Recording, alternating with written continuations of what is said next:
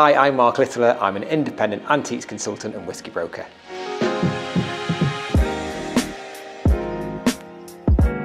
Over the past few years, we've sold dozens of casks of Arran for customers and always delivered them fantastic prices.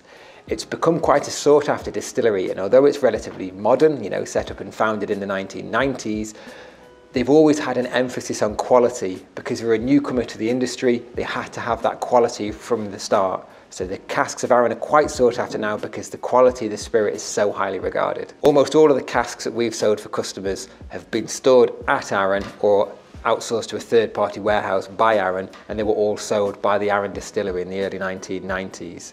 Now, there are five factors that affect the value of these casks and broadly speaking they're the volume of liquid inside the cask, so the bulk litres or litres of alcohol, clearly the more litres of whisky in the cask the better, and likewise the ABV of the whisky, anything less than 40% is no longer legally able to be classed as whisky, so you're looking for a figure way over 40% ideally. The next two factors relate to the type of cask, so is it a sherry cask or a bourbon cask, and sherry casks command a real premium at the minute. And then what size of cask was it originally? Was it a barrel, a hogshead, a puncheon or a butt? And then finally, the age of the whisky makes a big difference.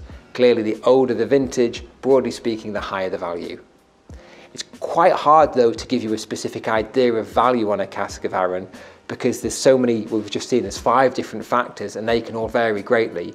But to give you a rough idea, the majority of casks of Arran that we've sold in the past couple of years have between, been between 10 and 30,000 pounds. So if you've got a cask of Arran that you're looking to sell or you're just looking to get a valuation on, or maybe you're looking to buy a cask of Arran and you want the valuation independently verified, contact me directly at mark at marklittler.com.